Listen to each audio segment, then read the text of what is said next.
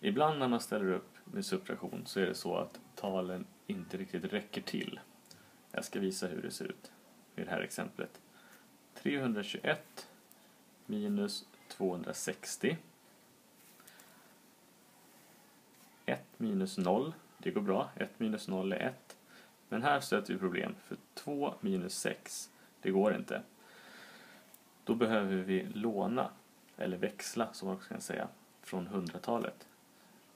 Och då gör vi ett streck där för att markera att vi har tagit ett hundratal och växlat till tio stycken tiotal.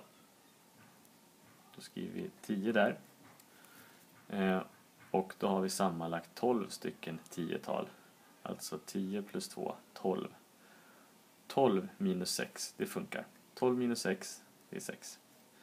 Nu har vi tagit en därifrån eh, och flyttat dit. Och då så har vi bara två kvar här, två hundratal kvar. 2 minus 2 är 0. Jag kan skriva ut nollan om jag vill, men den har egentligen ingen betydelse för svaret blir ju 61. Vi tar ett till exempel. 613 minus 347.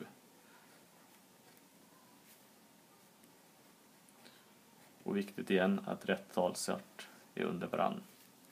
3 minus 7, här stöter vi på problem direkt, för 3 minus 7 går inte. Då tar vi ett av de här tiotalen och växlar till 10 stycken ental.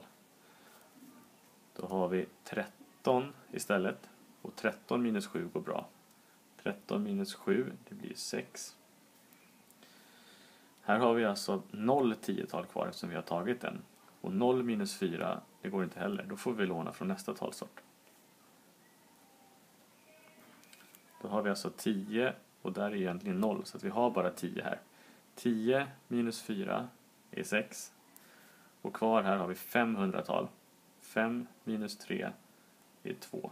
Svaret blir alltså 266.